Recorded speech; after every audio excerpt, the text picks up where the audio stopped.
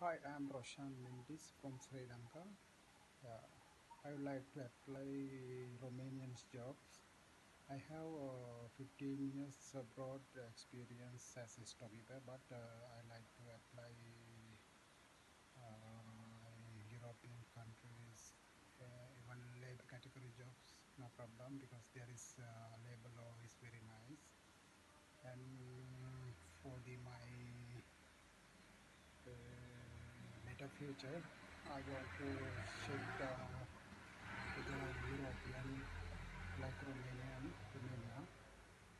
Uh, I hope you will select me and thanks for uh, given chance to apply Romanian job. Uh, I'm 49 years old. I have a lot of experience in different kind of uh, field uh, and I have confidence can do any kind of uh, job like a hard works, like labor category also. I hope you will select me. Okay, have a nice day.